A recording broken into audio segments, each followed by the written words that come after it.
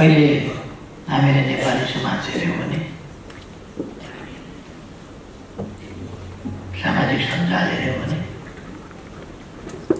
सभ्यताका पर्खालहरू बाङबुङ बत्काइएको छ। मर्यादा केही पनि छैन। पत्रकारले ताउलाई पनि तपाईँ भन्दैन। तिमीभन्दा माथि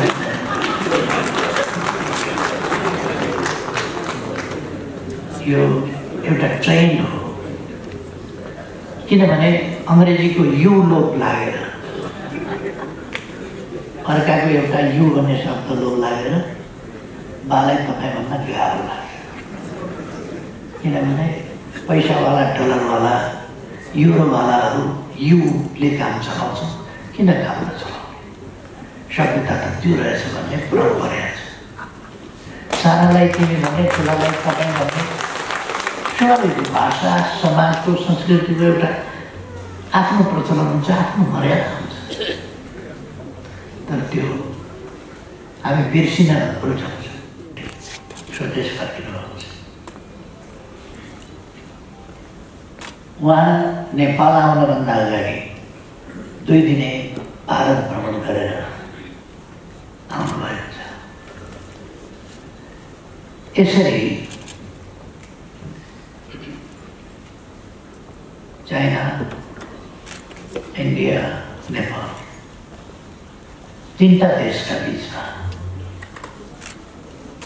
सम्बन्धलाई सुमधुर गराउने यस्तो देशहरूको बिचमा जहाँ विश्वका सबभन्दा बढी जनसङ्ख्या भएका देशहरू चिन र भारत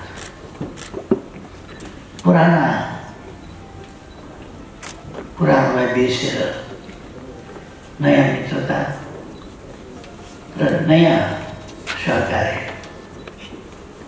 त्यस बाटोमा अगाडि बढ्दैछौँ र हामी सँगसँगै त्यस बाटोमा अगाडि बढ्दैछौँ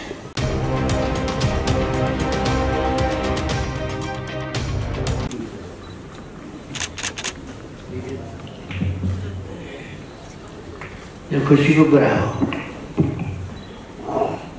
आज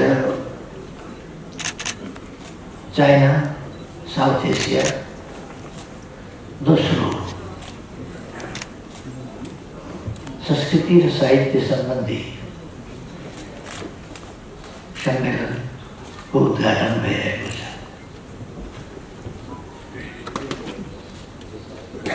यसका लागि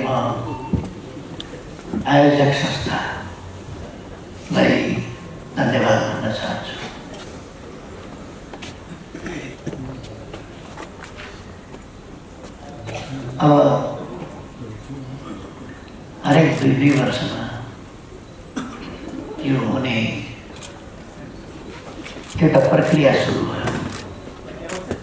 दुई वर्ष अघि चिनमा पहिलो कार्यक्रमको आयोजना भएको थियो भने अहिले यो दोस्रो कार्यक्रमको आयोजना भएको छ। अब दुई वर्षपछि फेरि अर्को देशमा कार्यक्रम यसरी यसले एउटा नियमित प्रक्रियाको रूप लिएको छ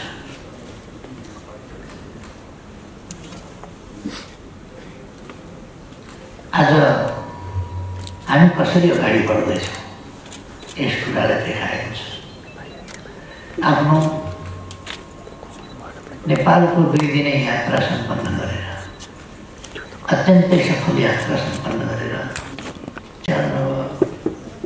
त्यस बेला त होला सुनामी सुनामीलाई भने आउँदो सामुद्रिक आँधीलाई भने आउँदो। तर त्यो कुरा त्यतिलाई मात्रै थियो कि भविष्यसम्म हेरेका थिए हाम्रा पुर्खाले। किन हाम्रा पुर्खा भविष्य द्रष्टा थिए। र हामी एकअर्काको साहित्यबाट यो क्षेत्र एसिया उहिलेदेखि एकअर्काको सहयोगी एकअर्काको परिपूरक जस्तो रहिआएको छ। ठुला ठुला ज्ञानका खोजहरू। र अहिले आएर विज्ञानको पछिल्लो समय अलिकति पूर्व अलिक पछाडि पऱ्यो एसिया अलिक पछाडि पऱ्यो केही समय तर लोकनाथ प्रसिद्धजी यहीँ हुनुहुन्छ उहाँले लेखेको पुस्तकमा भास्कराचार्यको बारेमा उहाँले लेख्नुभएको छ भास्कराचार्यले न्युटनले भन्दा धेरै अगाडि ग्राभिटी सम्बन्धी थ्योरी गणितको हिसाबले प्रतिपादन गर्नुभएको थियो निकाल्नु भएको थियो। पृथ्वी गोलो छ। गुरुत्वाकर्षणको कारणले माथिबाट तल झर्छ चिजहरू। ग्यालिलियोले अलिकति गर्न खोज्नु भएको थियो। पछि न्युटनले ग्यालिलियोको सिद्धान्तमा आधारित भएर अलिक विकास गर्नु तर त्योभन्दा केही शताब्दी अगाडि नै निकै धेरै शताब्दी अगाडि भास्कराचार्यले त्यो आविष्कार गर्नुभएको थियो त्यो पत्ता लगाउनु भएको थियो। त्यो भास्कराचार्यको पुस्तक सिद्धान्त शिरोमणि त्यसमा लेखिएको छ त्यो एघार सय पचास एघार सय दसमा त्यो छापिएको छ बाह्र सय दसमा छापिएको छ त्यति अगाडि ग्राभिटेसन सम्बन्धी थियो पत्ता लगाएर पनि हामीले त्यसलाई अगाडि बढाउन सकेनौँ केही कमीहरू रहे त्यसपछि हामी एउटा नराम्रो चक्रव्यूहमा फस्यौँ औपनिवेशिक चक्रव्यूह हामी उपनिवेश त भएनौँ नेपालको हिसाबमा हामी उपनिवेश भएनौँ तर हाम्रा छिमेकहरूमा उपनिवेश जो भयो त्यस उपनिवेशले हामीलाई त बिचमै छेकेर हराइरहेको हामी त्यसबाट उम्किन सकेनौँ र उपनिवेश नहुने प्रयासमै हाम्रो सारा सामर्थ्य शक्ति खर्च भयो यसो हाम्रा पुर्खाहरूले असाधारण सोच राख्थे असाधारण अन्वेषक अनुसन्धानक थिए र आज हामी संस्कृति र साहित्यको सम्बन्धमा चर्चा गर्दैछौँ संस्कृति सभ्यताको परिचय हो सभ्यता यहाँबाट सुरु हो संस्कृति पनि यहाँबाट सुरु सभ्यता तिग्रिँदै संस्कृति हो संस्कृति यहीँबाट सुरु हो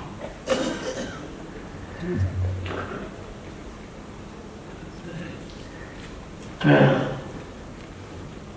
आज हामी जब नयाँ ढङ्गले अगाडि बढ्न चाहिरहेका छौँ हिजो पनि विश्वलाई बाटो देखाएको थियो चेतनाले दर्शनले चेतनाले अनेक आविष्कारहरूले पूर्वले बाटो देखाएको थियो विश्वलाई।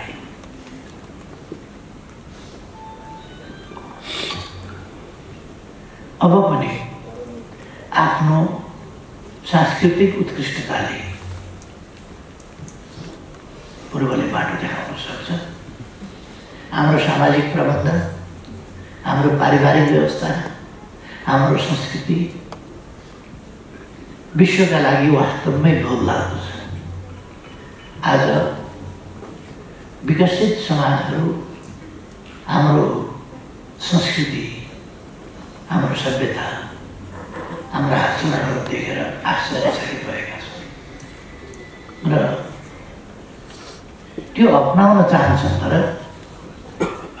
निकै गाडी छुटिसकेका छ उनीहरू केही कुराहरूमा यसरी डिट्याच भइसकेका छन् कि त्यसलाई समाउन गाह्रो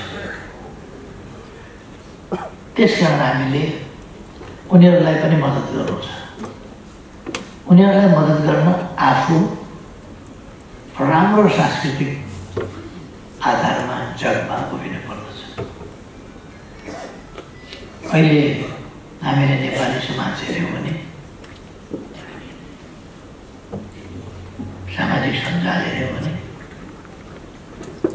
सभ्यताका पर्खालहरू बाङबुङ बत्काइएको छ मर्यादा केही पनि छैन पत्रकारले ताउलाई पनि तपाईँ भन्दैन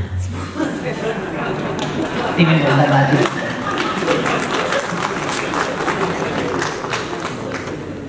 यो एउटा ट्रेन्ड हो किनभने अङ्ग्रेजीको यु लोप लागेर अर्काको एउटा यु भन्ने शब्द लोप लागेर बालाई तपाईँभन्दा गाह्रो लाग्छ किनभने पैसावाला डलरवाला युरोवालाहरू युले काम चलाउँछ किन काम नचलाउने? सभ्यता त त्यो रहेछ भन्ने पुरा परेको छ। सानालाई तिमी भने ठुलालाई तपाईँ भने स्वाभाविक भाषा समाजको संस्कृतिको एउटा आफ्नो प्रचलन हुन्छ आफ्नो मर्यादा तर त्यो हामी बिर्सिन रुचाउँछौँ त्यस कारण हामी पहिले हामीले हाम्रो भाषिकदेखि सांस्कृतिकदेखि साहित्यिकदेखि हामीसँग छ कला। हामीसँग छ साहित्य। ठुला ठुला समृद्ध देशका मान्छेहरू। मैले भन्ने गरेको छु हातमा ढुङ्गा बोकेर शिकारको खोजीमा हिँड्दै गरेका बेला हाम्रा साहित्यकारहरू वेदको रचना गर्दै हुन्थे हाम्रा साहित्यकारहरू नाटकको रचना गर्दै हुन्थे हाम्रा साहित्यकारहरू उपनिषद्को रचना गर्दै हुन्थे हाम्रोमा वेन्सान जस्ता यात्रीहरू यात्रामा हिँडिरहेका हुन्थे हामी दुनियाँलाई उत्पादनको नयाँ तरिका बताइराखेका हुन्थ्यौँ हामी व्यापार सिकाइराखेका हुन्थ्यौँ हामी सिल्क रोडको निर्माण गरिराखेका हुन्थ्यौँ हामी बाजाहरू नाचिराखेका हुन्थ्यौँ अरूलाई गाना बजाना नाच्न क्या हो थाहा नहुँदा। हाम्रा पुरुषहरू त्यो जान्दथे। यस सभ्यतालाई हामीले संस्कृतिलाई अगाडि बढाउनु छ। मिलेर अगाडि बढाउनु छ चिन र दक्षिण एसिया जुन एउटा एसियन सिभिलाइजेसन हो एसियन कल्चर हो र एसियन लिट्रेचर हो एसियन आर्ट हो एसियन आर्ट अफ लिभिङ हो र यो उत्कृष्ट छ यसमा हामी मिलेर काम गर्नु र अगाडि बढ्नु बढाउनु छ हामीले एउटा परिमार्जित सभ्यता सुदृढ ढङ्गले स्थापित गऱ्यौँ भने अरूलाई त्यसबाट सिक्न मद्दत मिल्छ हामीले आफैले आफ्नो गौरवपूर्ण कुराहरूलाई बिर्स्यौँ भने अरूलाई के सिकाउँछौँ? हामी आफै अरूका पछाडि लहै लहैमा कुद्दै जान्छौँ कुद्दै जान्छौँ अनि जब भत्किसक्यो सबै अनि त्यसपछि थाहा पाउँदा ढिलो भइसकेको हुन्छ त्यस कारण हामी हाम्रा नराम्रा कुराहरू नअप्नाउँ नराम्रा छोड्दै जानुपर्छ तर नराम्राभन्दा राम्रा परम्परा हामीसँग धेरै छ गौरवपूर्ण परम्परा गौरवपूर्ण ज्ञान गौरवपूर्ण दृष्टिकोण। उपनिवेशवादका विरुद्ध सङ्घर्ष गर्नु पर्यो क्रान्ति गर्नु पर्यो राष्ट्रिय मुक्तिका लागि क्रान्ति गर्नु पर्यो त्यो ठिक थियो त्यो केका लागि थियो भन्दा शान्तिका लागि थियो शान्ति त्यसकारण विभिन्न समयमा क्रान्तिहरू गर्नुपर्छ त्यो आवश्यक छ आवश्यक हुन्छ क्रान्तिहरू हुन्छ क्रान्ति सकिएपछि फेरि उही शान्तिमै पुग्ने हो। त्यस कारण अन्तिम कुरा चाहिँ के हो भन्दा शान्ति। चिनमा माओ सेतुङको नेतृत्वमा क्रान्ति भइराखेका बेला क्रान्ति ठिक छ। तर कसैले शान्ति शान्ति भनिराखेको छ भने क्रान्ति सकिएपछि त्यो ठिक हुन्छ। किन शान्ति त चाहिएकै छ। क्रान्ति किन गऱ्यो भन्दा शान्ति स्थापना त्यस शान्ति शाश्वत कुरा न्याय शाश्वत कुरा त्यस कारण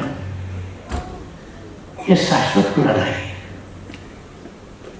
अगाडि बढाउने संयुक्त रूपमा अगाडि बढाउने बेला भएको छ हामीले यसै पनि विभिन्न देशका साहित्यकारहरूबाट विभिन्न देशका साहित्यहरूबाट उत्प्रेरणा प्राप्त गरेका छौँ अघि बढ्ने हौसला स्थितिविधिको हौसला राम्रो मार्ग हिँड्ने समयानुकूल हौसला ती कुराहरू गरेका छन् चाहे दुष्यनका निबन्ध हो चाहे कुमरका कविताहरू हो अथवा धरणीधर कोइरालाका कुराहरू या गोपाल प्रसाद रिमालका अथवा अरू साहित्यकारहरूका हो रविन्द्रनाथ टेगोरका हो पन्तप्रसाद निरालाका हो अरू कसैका हो या महापण्डित राव साम्प्रदायिकका हो विभिन्नका साहित्यहरूबाट हामीले प्रेरणा दिएकै छौँ अथवा हाम्रा इतिहासका सत्यमोहन जोशीबाट होस् अथवा राष्ट्रकवि र अरू कविहरूबाट साहित्यकारहरूबाट होस् अथवा रामायण भानुभक्तदेखि भक्तिरामदेखि लेखनाथदेखि बालकृष्णदेखि लक्ष्मीप्रसाददेखि अरू मेमनिधि गुरुप्रसाद अनेक साहित्यकार हुन् अथवा प्रगतिशील विश्लेषक चिन्तक मुन्नान प्रसिद्धका कुराहरू हो यस्ता कुराहरूबाट हामीले अहिलेकै समयमा पनि एकअर्काबाट सिकेका छौँ देश विदेशका हाम्रा साउथ एसिया र चिनीका कुराहरूबाट सिकेका छौँ यसलाई अझ सघन ढङ्गले छलफल अगाडि बढाउन जरुरी छ यसको प्रभावकारिताका लागि दुई वर्षमा एउटा सेमिनार त गर्छौँ। तर यी दुई वर्षका सेमिनारहरूले सेमिनारमा सीमित राख्ने होइन। यी दुई वर्षका सेमिनारले अब हामी कसरी अगाडि बढ्ने सघन ढङ्गले हाम्रो सहयात्रालाई कसरी तीव्रता दिने र सुगठित बनाउने यस दिशामा योजना बनाउन र सहकार्य गर्ने बाटाहरू तय गर्न विधिहरू तय गर्न जरुरी छ भन्ने यस। फोरमले यस गोष्ठीले अवश्य नै नयाँ छलफलहरूको दौरानमा तपाईँहरूले नयाँ कुराहरू निकाल्नु हुनेछ नयाँ तरिकाहरू निकाल्नु हुनेछ जसबाट हामी सघन छलफल अगाडि बढ्न सक्छौँ र हाम्रा समाजलाई न्यायोचित, क्षमतामूलक, समृद्ध लोकतान्त्रिक सम्मानजनक, सुरक्षित समाज बनाउन संस्कृति र साहित्यको क्षेत्रबाट योगदान गर्न सकियोस् यसका निम्ति साझा प्रयास यी क्षेत्रहरूबाट गर्न सकियोस् यसमा बढी तपाईँहरूले खोज्न सक्नुहुनेछ र सबैतिर यसको प्रचार प्रसार गर्न सक्नुहुनेछ भन्ने मैले विश्वास लिएको छु र म शुभकामना पनि भन्न चाहन्छु Uh, most of the listeners here attendants are Nepali, so I spoke in Nepali. I think some of the audience are facing difficulties to understand what I spoke. But I think uh, the organizers will uh, make the translation available. So this फर्किनुहोस् उहाँ नेपाल आउनुभन्दा अगाडि दुई दिने भारत भ्रमण गरेर आउनुभएको छ यसरी चाइना इन्डिया नेपाल तिनवटा देशका बिचमा सम्बन्धलाई सुमधुर बनाउने यस्तो देशहरूको बिचमा जहाँ विश्वका सबभन्दा बढी जनसङ्ख्या भएका देशहरू चिन र भारत पुराना कुराहरूलाई बिर्सेर नयाँ मित्रता र नयाँ सहकार्य त्यस बाटोमा अगाडि बढ्दैछौँ र हामी सँगसँगै त्यस बाटोमा अगाडि बढ्दैछौँ यसको अर्थ एसिया अब कटुताको बाटोमा होइन पारस्परिक समझदारी र एकताको बाटोमा आजका मानव जातिका आकाङ्क्षाहरूलाई साकार पार्ने बाटोमा सहकार्यका साथ अगाडि बढ्न चाहिरहेको छ।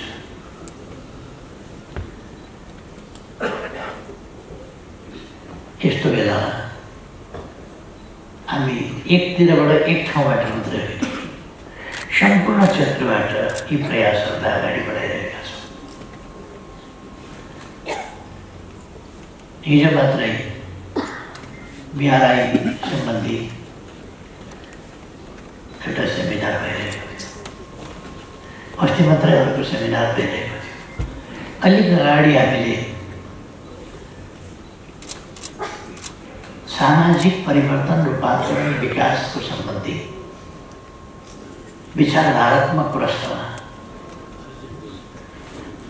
चिनिया कम्युनिस्ट पार्टी र नेपाल कम्युनिस्ट पार्टीका बिचमा गरेका थियौँ आज राष्ट्रभित्रका आन्तरिक नीतिहरू प्रस्ताउनुपर्छ अन्तर्राष्ट्रिय नीतिहरू प्रस्ताउनुपर्छ राष्ट्रहरूका बिचका सम्बन्ध प्रस्ताउनुपर्छ राज्यका बिचका सम्बन्ध राज्य राज्यका जनस्तरका सम्बन्धहरू प्रस्ताउनुपर्छ न्यायोचित सम्बन्धहरू के हो? नयाँ न्यायोचित समानतामा आधारित र समृद्धितर्फ उन्मुख र समृद्ध न्यायोचित व्यवस्था विश्व व्यवस्था।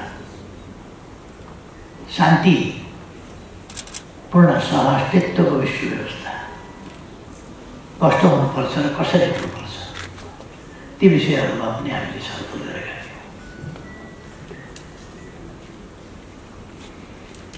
र हामी संस्कृति र साहित्यको क्षेत्रमा त्यसै गरी सहकारी समझदारी बढाउने प्रयासमा लागिरहेका छौँ यो गोष्ठी त्यसको प्रमाण। हामी साहित्यिक क्षेत्रबाट पनि अगाडि बढ्न चाहन्छौँ। अलिकति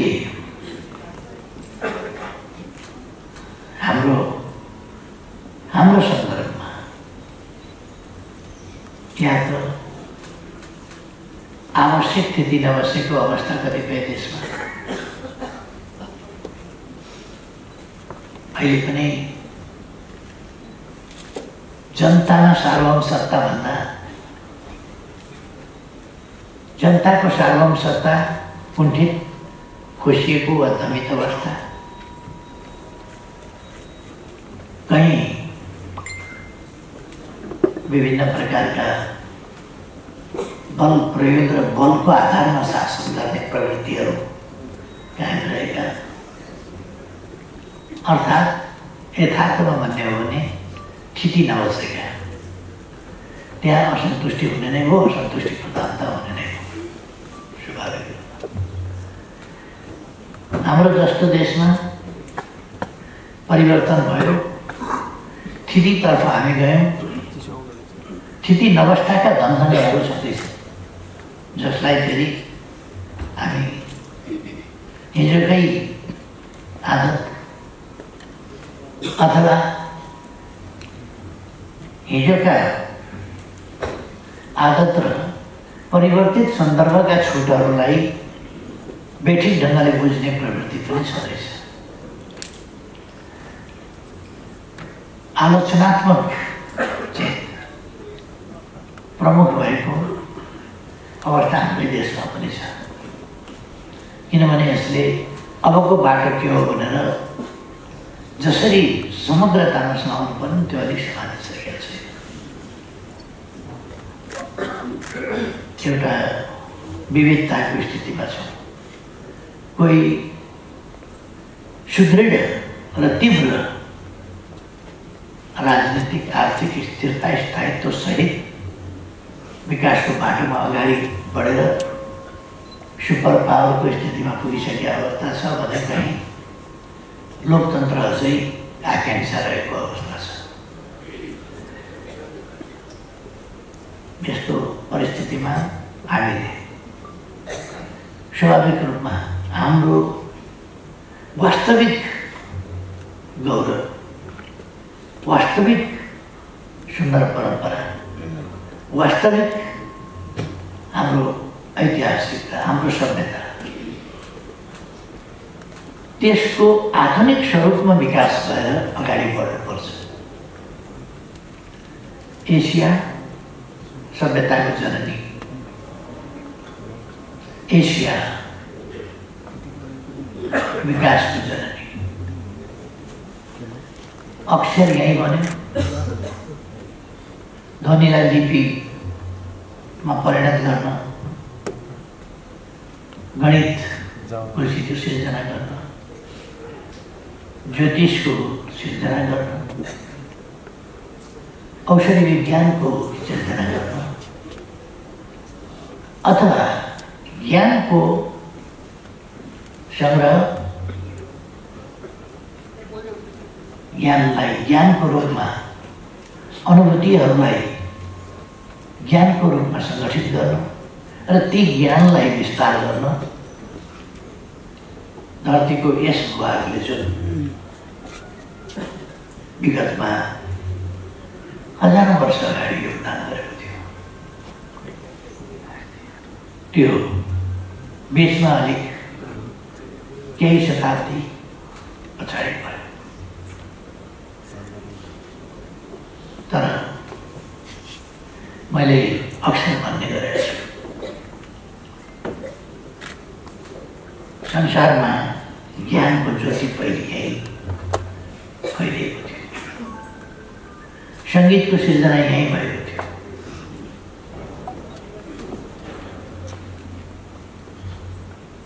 छन्द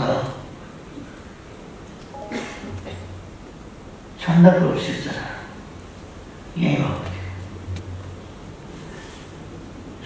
रूपमा वेदहरू। किन हजारौँ वर्ष जीवितै चल्दै आए चल्दै आए किनभने ती छन्दबद्ध थिए। छन्दबद्ध भएको हुनाले गीत सम्झिन सकिन्छ छन्दबद्ध भएको हुनाले कविता सम्झिन सकिन्छ। हामी लेखनाथका कविता हुन् कि बालकृष्णसँगका कविता हुन् कि भागवतीय रामायणका कुरा हुन् कि सम्झिन्छौँ किन भन्दाखेरि छन्दबद्ध छ। कथा मात्रै भए जस्ता जस्तै त्यसरी सम्झिँदैन। छन्दबद्ध भएपछि कुनै अक्षर पनि नबिराइकन सम्झिन्छ छन्द ताल यी सबै कुरा यहीँ आविष्कार भए। धन्वन्तरीदेखि अश्विनी कुमारदेखि अथवा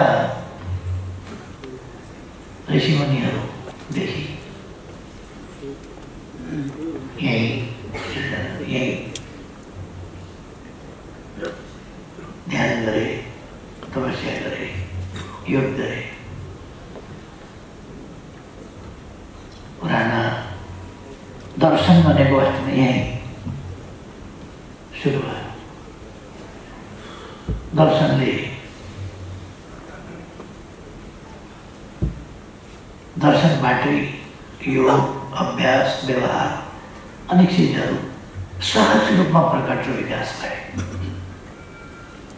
त्यसलाई एउटा व्यवस्थित धाराको रूपमा अगाडि बढाइयो। त्यसै गरी चीनमा अनेक दार्शनिकहरू जन्मिए। लाओ, कन्फ्युसियस आदि। हामीले सभ्यताहरू हेऱ्यौँ भने यही सभ्यताहरू सबै धर्म एसियाको पूर्वदेखि पश्चिमसम्म पूर्व एसियादेखि पश्चिम एसियासम्म हेऱ्यौँ भने सबै धर्म एसियामै पैदा भए सबै धर्म नृत्य सङ्गीत वाद्यवादन धुन लय बिम्बहरूको साहित्यमा प्रयोग? र समृद्ध संस्कृति।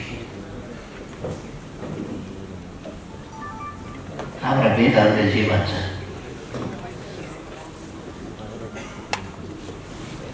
कहिले कहिले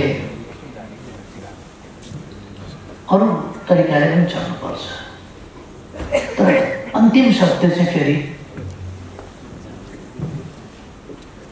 हाम्रा पुर्खाहरूले भनेको छ अहिले हामीले हाम्रो राष्ट्रिय आकाङ्क्षा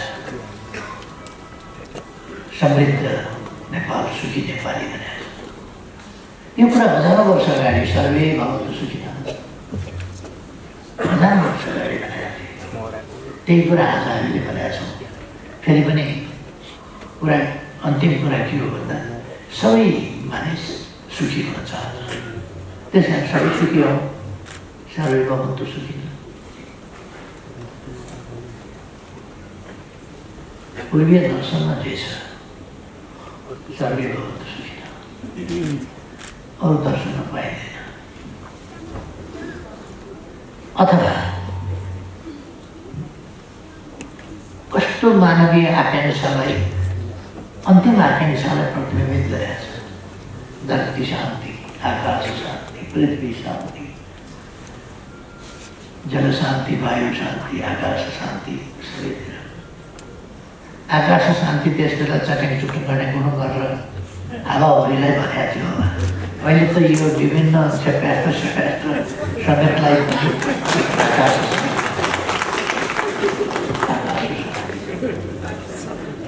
शान्ति।